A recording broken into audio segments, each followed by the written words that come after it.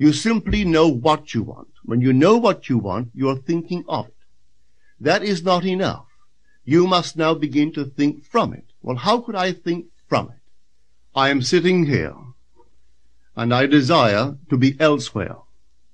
How could I, while sitting here physically, put myself in imagination at a point in space removed from this room and make that real to me? Quite easily.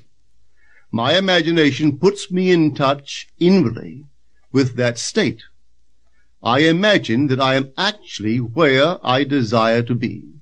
Now can I tell that I am there? There is only one way to prove that I am there. For what a man sees when he describes his world is as he describes it relative to himself. So what the world looks like depends entirely upon where I stand when I make my observation. So if, as I describe my world, it is related to that point in space I imagine that I am occupying, then I must be there. I am not there physically, no, but I am there in my imagination, and my imagination is my real self. And where I go in imagination and make it real, there I shall go in the flesh also.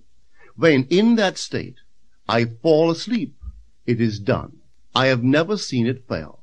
So this is the simple technique on how to use your imagination to realize your every objective.